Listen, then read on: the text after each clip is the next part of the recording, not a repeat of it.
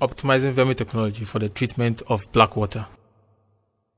And under this project, I sought to assess the effect of solid loading rate at startup on the performance of black water treatment.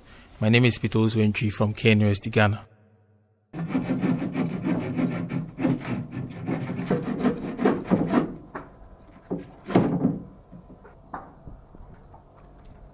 Considerable work has been going on on the science of vermi composting, particularly on newer substrates and newer worm species for decomposition.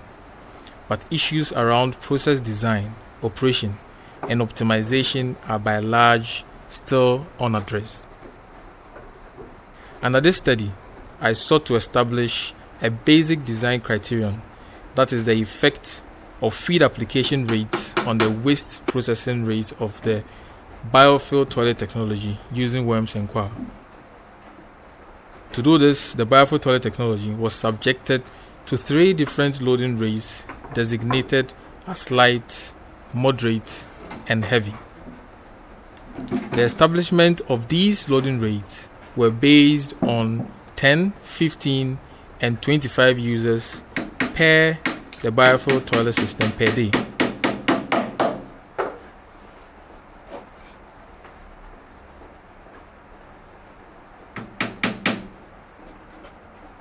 To undergo this study, I had to set up a number of miniature digesters.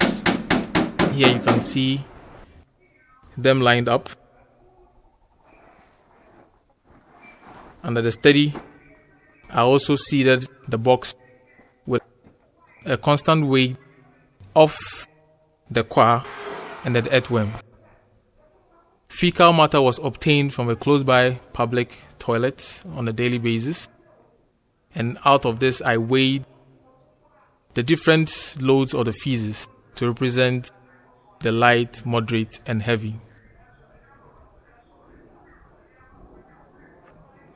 The startup performance of the BTT was assessed during which the waste processing rates were measured twice in a day for a week under the different loading conditions. Earthworms were obtained from my vermiculture, and a constant number of 50 worms was used to seed each of the digester boxes.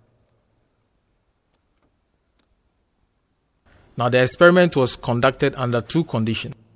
One representing the microflush, where approximately 500 ml of water is used for flushing, and the full flush, where approximately 6 to 9 liters is used for flushing.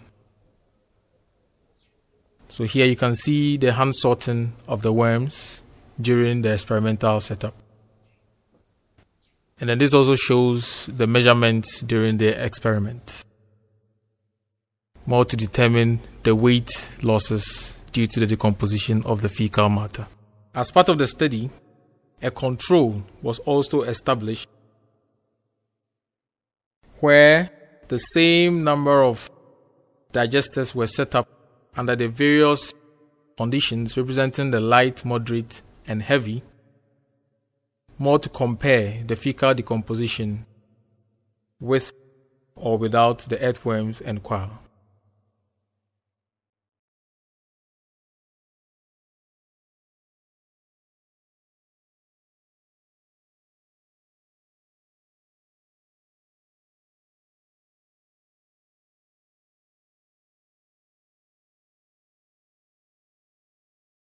At the end of the study, Samples were taken from both the experimental miniature boxes and then the control boxes for analysis.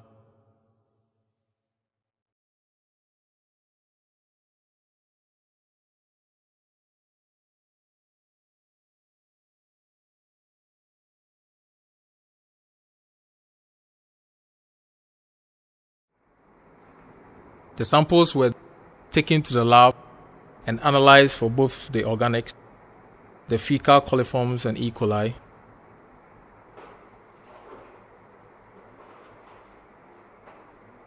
The experiment is due to be continued in the case 2, where a continuous application of fecal matter would be used and monitored over a period.